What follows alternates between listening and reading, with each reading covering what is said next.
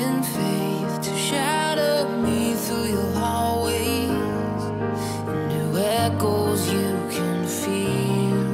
and rehearse the